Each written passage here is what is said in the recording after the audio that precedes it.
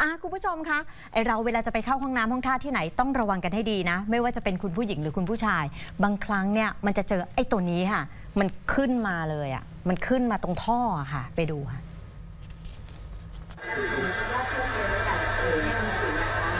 มันตันมันตันไอ้นี่นี่โอ้เนี่ยแบบเลือดลูกวิดีโอครับหัวนี่โผล่มาเลย ดูสิ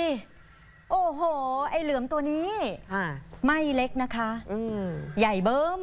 โผล่หัวขึ้นมาจากชักโครกค่ะ เกมฉกเลยล่ะ นั่นแหละกู้ภัยเขาจับได้ไง เอาอุปกรณ์ไปจับมา โอ้โห เขียนแคปชั่นว่าเคยเห็นแต่ในข่าว ไม่คิดว่าจะเจอเอง นี่คือคนใช้ TikTok เอามาโพสต์ค่ะและเขียนแคปชั่นนี้นะคะ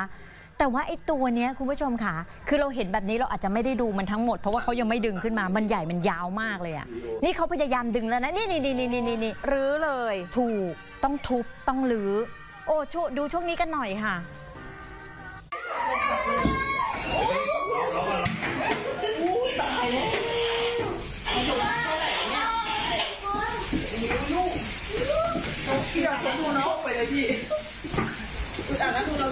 เ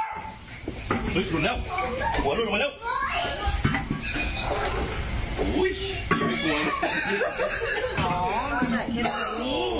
ตรงกลางมัน มันโคตรมันโคตรตัวมันถึงไม่ออกไงเมื่อกี้เนี่ยโหกี่เมตรพี่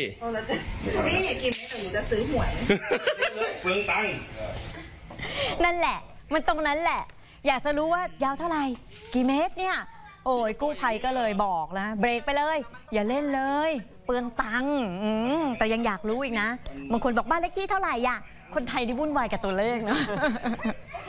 ความหวังเนาะอ่าเป็นธรรมดา เออ ที่กู้ภัยเนี่ยทำได้ทุกสิ่งจริงข่าวช่อง 8 ครบเครื่องเคียงข้าง